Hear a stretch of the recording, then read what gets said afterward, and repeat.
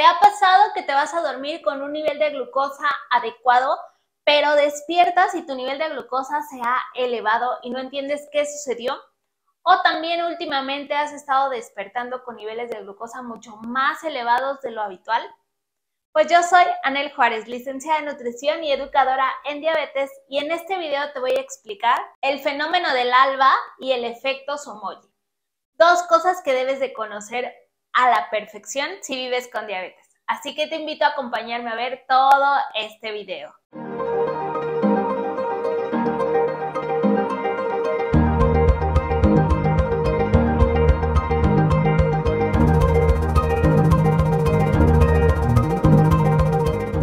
Primero que nada, quiero decirte que existen diversos factores que pueden hacer que tu glucosa se eleve a lo largo del día y también que amanezcas con un nivel de glucosa un poco más elevado. Si quieres conocer estos factores que pueden elevar tu glucosa, te voy a dejar por acá arriba el enlace a un video sobre 13 factores que suben tu glucosa y también te lo voy a dejar acá abajo. En este video me voy a centrar más que nada en explicarte qué es el efecto Somoji y el fenómeno del alba, que también son dos situaciones que podrían estar elevando tu glucosa cuando despiertas. Y si estás viendo que la elevación de glucosa es algo muy frecuente, es importante que consultes a tu educador en diabetes, a tu nutriólogo o a tu médico para que analicen qué es lo que está sucediendo y puedas obtener un tratamiento adecuado o alguna solución que mejore esa situación. Y bueno, como quiero que este video sea sumamente rápido, vamos a empezar de una vez por explicar estos dos factores. Primero quiero hablarte del fenómeno del alba. Debes de saber que todos tenemos algo que se conoce como ciclo circadiano o reloj biológico. Y este está mediado por el día y por la noche, o también por los estímulos de luz y de oscuridad. Por eso la recomendación de que cuando te vayas a dormir sea en un lugar totalmente oscuro para que podamos respetar este ciclo circadiano y evitar exponernos a pantallas o a cuestiones de mucha luz cuando ya son altas horas de la noche para no afectar nuestro ciclo circadiano. Pero bueno, te voy a hablar del ciclo circadiano todo completo en otro video. Ya que sabes que tenemos un ciclo circadiano, eso hace que a las primeras horas del día, justo cuando va saliendo el sol, nuestro cuerpo va a secretar ciertas hormonas. Y estas hormonas va a tener la función de estimular a nuestro cuerpo a que se despierte. Pero ¿cuáles son esas hormonas? Pues hormonas se llaman contrarreguladoras. Y aquí vas a encontrar al cortisol, al glucagón y a la epinefrina. Estas tres hormonas que se secretan justo cuando ya te tienes que despertar o cuando está saliendo el sol van a generar un aumento en tus niveles de glucosa.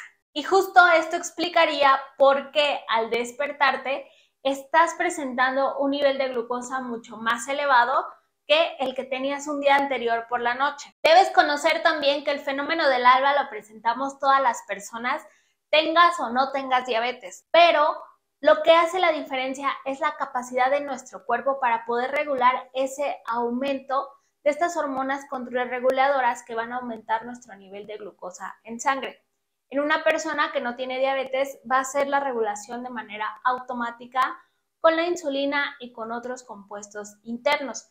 Pero al ya tener diabetes, nosotros podemos tener una alteración en esa regulación, la cual nos da como resultado que observemos un nivel más alto de glucosa del que deberíamos de tener a esas horas de la mañana. Y algunos tips que te pueden ayudar a contrarrestar el efecto del alba sería que tengas un sueño de calidad y reparador, que estés manejando adecuadamente esta parte del ciclo circadiano. Te digo, te voy a hacer un video de todo lo que es el ciclo circadiano. También que siempre cenes. Es importante que no omitamos la cena para que esto no se vea influenciado en que nuestro cuerpo tenga que sacar nuestra reserva de glucosa, que va relacionado con el efecto Somoji que vamos a ver ahorita. Y también importante que cenes a un horario adecuado para que esto le permita a nuestro cuerpo hacer una adecuada digestión, llegar a un nivel saludable de glucosa y poder mantenerlo de esta forma y que en la mañana no se esté subiendo demasiado.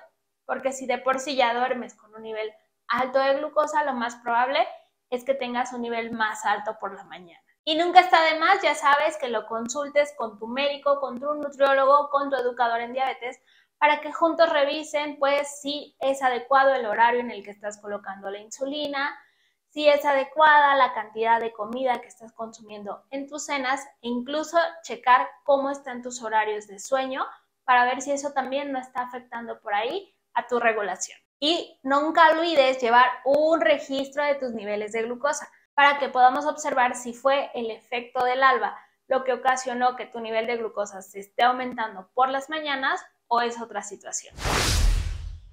Y ahora vamos a platicar sobre el efecto Somoyi. Esta situación se suele presentar mucho más en personas que están utilizando insulina de manera externa, ya sea insulina basal o múltiples dosis de insulina, como el caso de la diabetes tipo 1. El efecto Somoyi sucede porque tu nivel de glucosa durante la noche bajó demasiado y el cuerpo lo que hace para que este vuelva a subir es la producción de ciertas hormonas contrarreguladoras como glucagón. Y eso va a hacer que vuelva a subir tu nivel de glucosa. Sin embargo, es muy probable que esa subida de nivel de glucosa sea una subida en exceso que genere un nivel alto de glucosa al despertar. Y aquí vemos la importancia del monitoreo de glucosa más o menos a las 3 de la mañana, que es cuando puede presentarse esta bajada de glucosa durante la noche. Y para evitarnos el efecto Somoyi o evitarnos cualquier riesgo de que siga bajando la hipoglucemia, es importante hacer este monitoreo, identificarlo y en su caso contrarrestarlo con un adecuado manejo de hipoglucemia. Si no sabes qué hacer cuando se te baja la glucosa, aquí arriba también te voy a dejar el enlace a un video donde te explico sobre ese tema en concreto. ¿Y qué podemos hacer si ya observaste que lo tuyo que está sucediendo es el efecto Somoyi?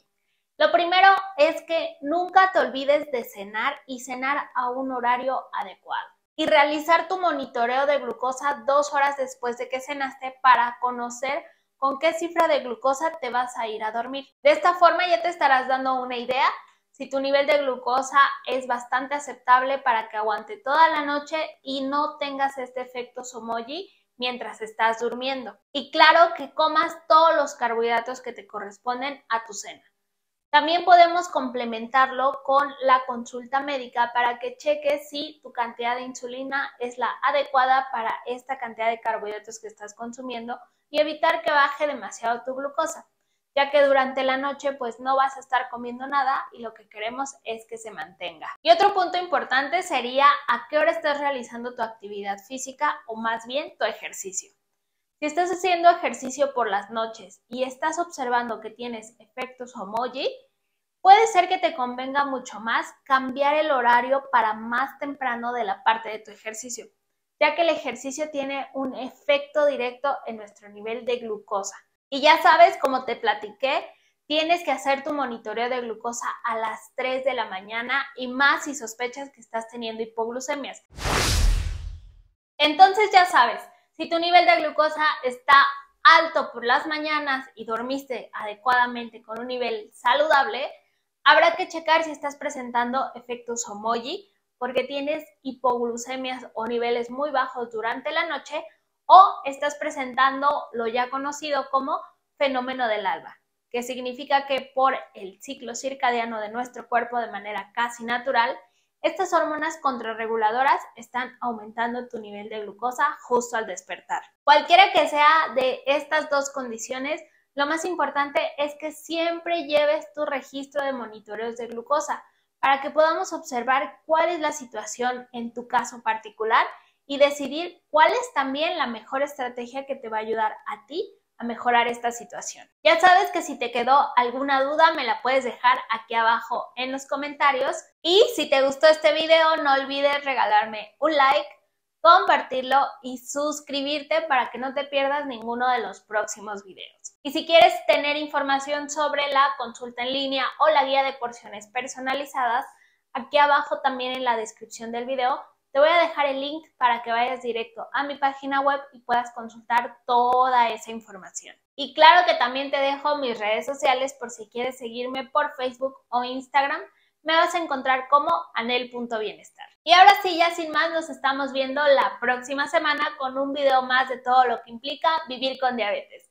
Ya sabes, por acá te dejo algunos videos de recomendación que te pueden ayudar a seguir aprendiendo mucho más de esta condición de vida. Te veo la próxima semana. Chao.